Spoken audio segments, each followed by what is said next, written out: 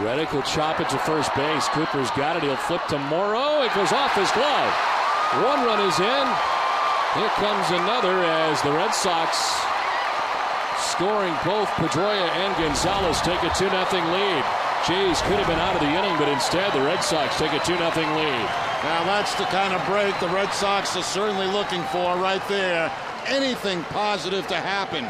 Looked like it was going to be the third out of the inning. All of a sudden, the flip from Cooper goes over the head of Morrow. He can't handle it.